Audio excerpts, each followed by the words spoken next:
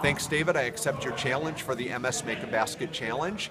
I'm now going to forward this challenge on to Joe Johnson, Carly Schiller, and Matt Turetsky. You have 24 hours to either make a basket or go to www.msmakeabasketchallenge.com and make a donation.